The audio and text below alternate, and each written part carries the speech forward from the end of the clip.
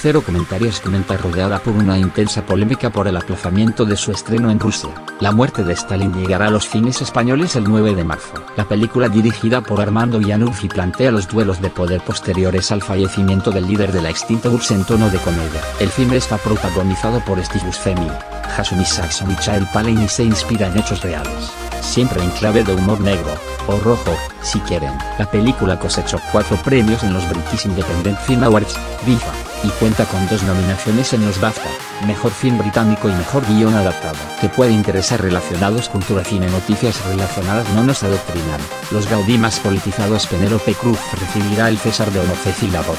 A mí me violaron en Madrid, fue un periodista del que olvidé su nombre.